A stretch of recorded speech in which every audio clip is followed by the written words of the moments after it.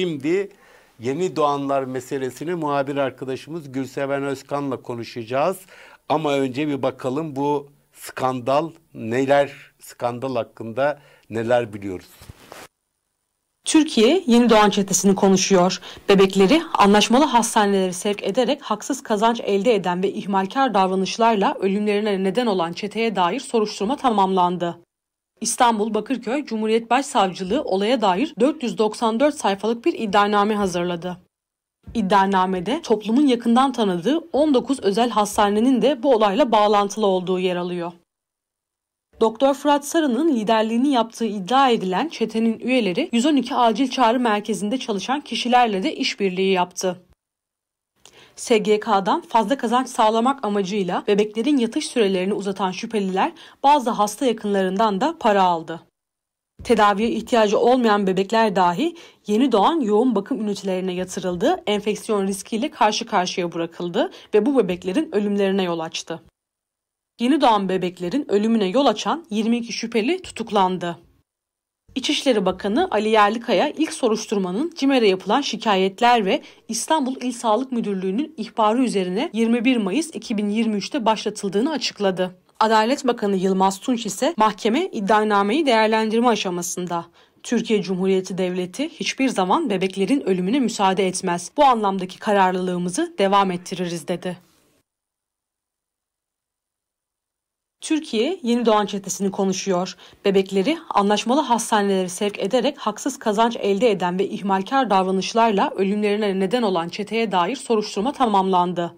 İstanbul Bakırköy Cumhuriyet Başsavcılığı olaya dair 494 sayfalık bir iddianame hazırladı. İddianamede toplumun yakından tanıdığı 19 özel hastanenin de bu olayla bağlantılı olduğu yer alıyor. Doktor Fırat Sarı'nın liderliğini yaptığı iddia edilen çetenin üyeleri 112 acil çağrı merkezinde çalışan kişilerle de işbirliği yaptı. SGK'dan fazla kazanç sağlamak amacıyla bebeklerin yatış Evet, yeni doğan çetesi çok büyük skandal, çok acı verici bir olay ve bu olayı başından itibaren takip eden arkadaşımız Gülseven Özkan. Merhaba Gülseven. Merhaba. Çok soru var ama e, hızlı hızlı gidelim. Hı hı. İnsanlar bir yerde hem merak ediyor, bir yerde hem de yorulmuş durumda. Hı hı. Çok üzgünler. Ve hep de şöyle bir şey var. Ya buradan bir şey çıkacak mı acaba? Genellikle bu tür şeylerde örtbas daha çok oluyor ama sanki bu sefer çıkacak gibi. Önce sorayım. Nasıl başladı bu soruşturma? Şöyle, 20, 27 Mart 2023 yılında CİMER'e bir e, ihbar e, düşüyor. Bu ihbarda da bir doktorun e, işte terörle e, bağlantılı olduğu ve SGK'yı dolandırdığı şeklinde bilgiler yer alıyor. E, bu Sağlık Bakanlığı'na ihbar düşüyor ve Sağlık Bakanlığı soruşturma izni veriyor. İstanbul İl Sağlık Müdürlüğü'ne dosya gidiyor ve Sağlık Müdürlüğü ile komisyon kuruyor. Bir takım araştırmalar yapıyor. Aslında bunun derin bir şey olduğunu e, gör, görmeye başlıyorlar ve emniyetle e, bir ortaklaşa süreci yönetiyorlar. Emniyetten gizli bakan dedi ki Sağlık Bakanı bu gizli yürütüldü dedi üç bakanlık arasında. Dolayısıyla da bu süreç sonunda da e, 27 Nisan 2024'te bir operasyon yapılıyor. E, ve 21 Mayıs'ta da bu soruşturma e, 21 Mayıs 2023'te başlanıyor ve e, bu bu yılda operasyon yapılıyor. Şu anda 47 şüpheli var. 27'si tutuklu. Tam onu soracaktım. Hı hı. E, 20, Kaç tutuklu? Şu an 22 kişi tutuklu. Bunlar doktor, hasta bakıcı. Evet bu adı geçiyor. İşte 112 servisinde şöyle bir durum var bu çete olayında. İşte e, öz, e, devlet hastanelerinden özel hastanelere sevklerin yapıldığı, bunların da çağrı merkezi üzerinden çete üyesi e, ya, iddianamede çete üyesi olduğu iddia edilen kişilerce yönlendirme yapıldığı ve bu doktorun anla, e, anlaştığı hastanelere yönlendirildiği, burada işte servis şoförü var, orada çalışan hemşirelerden bahsediliyor. Bu Fırat Sarı çetenin lideri olduğu belirtiliyor. Böyle bir ekip ve bu ekiple birlikte böyle bir örgütten bahsediliyor, Peki, çeteden. sonuçta burada bu yapılan e, tezgahla bebekler öldü. Evet. Bu bebekler e, bütün bu süreç içerisindeki imalden, bakımsızlıktan, özensizlikten vesaire ölüyorlar. Normal şartlarda bu tezgaha girmeselerdi yaşayacaklardı değil mi? Evet burada e, o en az 10 bebeğin e, adı geçiyor. Kaç? Ve 10 en az 10 bebeğin öldüğü, öldüğü adı geçiyor ve aslında bunlar nasıl öldürüyorlar bunlara baktığımızda ailelerle de konuştuk biz hastanelere de gittik ama iddianamede e, çok çarpıcı bilgiler var. Bebeklere yanlış ilaçlar verildiği, yoğun bakımda olmaması gerekirken yoğun bakıma alındığı, e, ondan sonra pasif e, ötenezi yapıldı, işte örgüt kurmak, SGK'yı dolandırmak, kasten adam öldürmek, yanlış tedavi, yanlış ilaç verilmesi, antibiyotik Peki verilmemesi kaç gereken. hastane? Yani şu anda e, iddianamede e, 10 has, e, ruhsatı kapatılan 10 hastane var. 9'da 10'a çıktı. E, bu 10 hastanede belirtiliyor. belirtiliyor. Bunlardan biri de aslında e, eski Sağlık Bakanı e, Mehmet Müezziloğlu'nun sahip olduğu 10 hastane. hastanenin iptal edildi ama daha fazla hastane söz konusu. Evet daha fazla hastanelerden bahsediliyor ve daha fazla Türkiye genelinde pek çok yerden olduğundan söz ediliyor. Çok fazla şikayet var bununla ilgili de onlardan da bahsedeceğim. Biz e, bu olay yaşandıktan hemen sonra hastanelere gittik, oraları gezdik e, ve orada çok çarpıcı şeylerle karşılaştık. E, Tam onu soracaktım Aha. evet. Ee, sen gittin e, Fırat Sarı çete lideri o mu? Öyle yani mi? evet iddianamede çete lideri olarak o Onun geçiyor. iş adresine de gittin. Evet onun iş Ne adresine gittim. İnsanlarla Şimdi şöyle konuşabiliyor musunuz? Yani şöyle e, bazı başhekim işte yardımcıları oradaki yetkililere ulaşmaya çalıştım. E, şimdi iddianamede çok çarpıcı ifadeler var. Onlardan hemen bahsedeyim. İşte bırak ölsün, fişini çekelim. Zaten eks birazdan olacak şeklinde çok gerçekten kan doldurucu şeyler var. Biz hastaneye Şafak Hastanesi'ne gittim öncelikle. Burada hemşireler şaşkındı. Pek bilmediklerinden bahsettiler. Bilmiyoruz haberimiz yok dediler. Hem bunları gazeteci olarak hem ilk gittiğimde izlenim nedir böyle bir şey duydunuz mu? Çünkü ben her hastanenin yoğun bakım bebek yoğun bakım servislerine gittim ve e, aslında oradaki durumu gözlemlemeye çalıştım. E, daha sonra baktım, insanlarla konuşmaya çalıştım ailelerle. En sonda e, yetkiliye gazeteci olduğumu söyleyip yetkiliye e, ulaşmaya çalıştım. Tabii aileleri de gazeteci olduğumu da söyledim. Şimdi bazıları konuştu, bazıları konuşmadı. Örneğin Avrupa Şafak Hastanesi'nde herhangi bir sorun yok dediler. E, böyle bir şeyle karşılaşmadık dediler. Üst düzey bir yetkiliyle konuştum. O dedi ki iki yıldır dedi bizim servisimiz kapalı. Bu bir sabotaj dedi. Bizi sevmeyenler, rakip görenler. Hani bundan dolayı e, bu o, işlemi yaptılar. Biz kesinlikle herhangi bir şey yapmadık. Böyle bir şeyi kabul etmiyoruz dediler. Bu hastanelerin Fırat Sarı'nın çalıştığı aslında en önemli e, hastanelerden biri Reyap Hastanesi.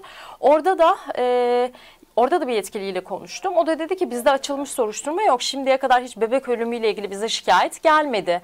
Herhangi bir şeyler yapılmadı. Biz denetleniyoruz ve prosedüre uygun olarak hareket ediyoruz. İşte Sağlık Bakanlığı'na. Dolayısıyla bu iddialar kesinlikle yalandır dedi. Oranın yoğun bakım servisinde bir e, babaanne ve e, bir baba vardı. Onlar birlikte gelmişti ve çocuklarını bekliyordu. Yani biz olayı duyduktan sonra o kadar korktuk ki burada yatasımız geldi. Her gün gelip gittik bir an önce bebeklerin, bebeğimizi çıkarmaya çalışıyoruz dedi.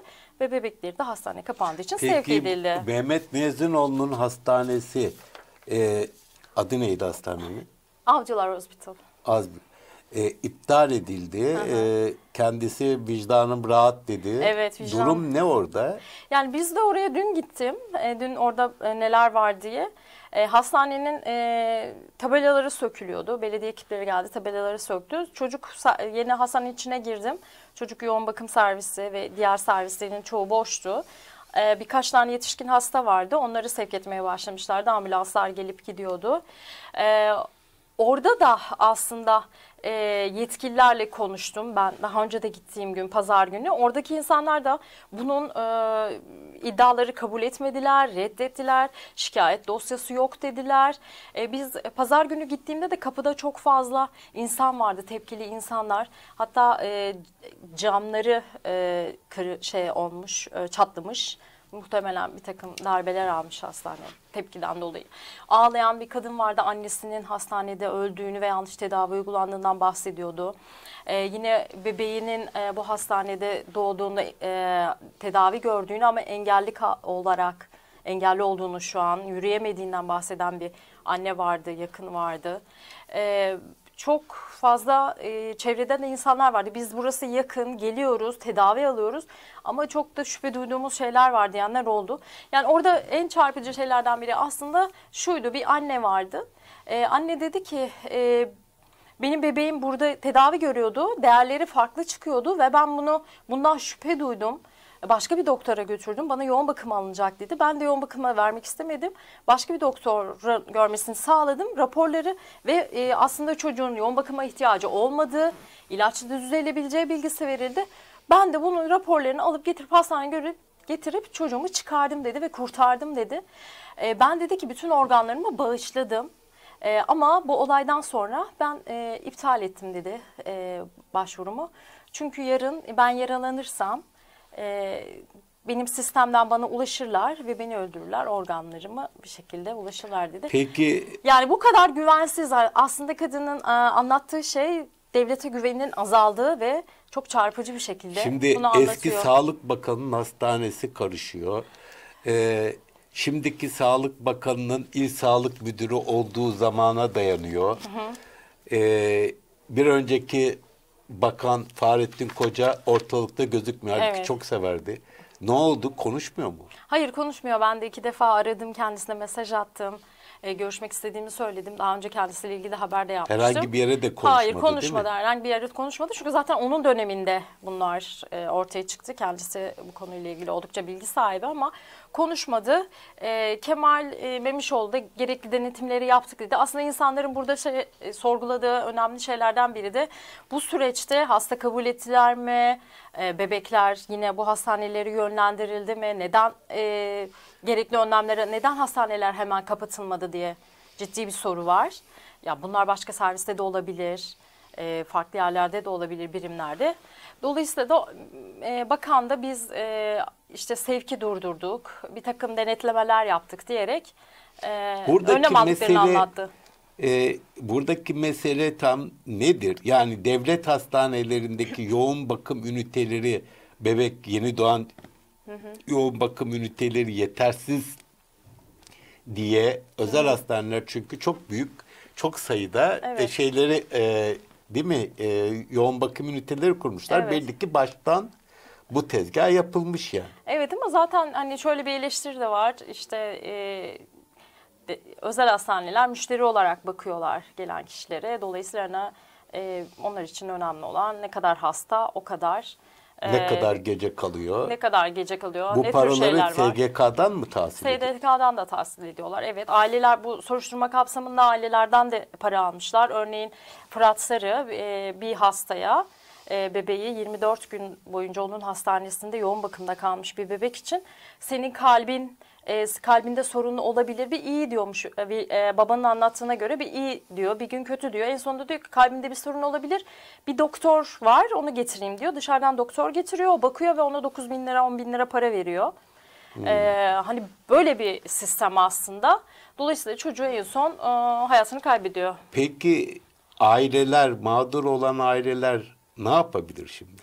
Yani mağdur olan aileler savcılıklara şikayeti bulunuyorlar ve suç duyurusunda bulunuyorlar. Özellikle gönüllü avukatlarla bazılarının çünkü e, bu süreçte desteğe ihtiyacı da olabiliyor. Gönüllü avukatların kendilerine destek olmasını istiyorlar ve toplumla beraber e, gerekli cezayı almalarını istiyorlar. Haklarının korunmasını istiyorlar ve hastanelerin tamamen kapatılmasını istiyorlar.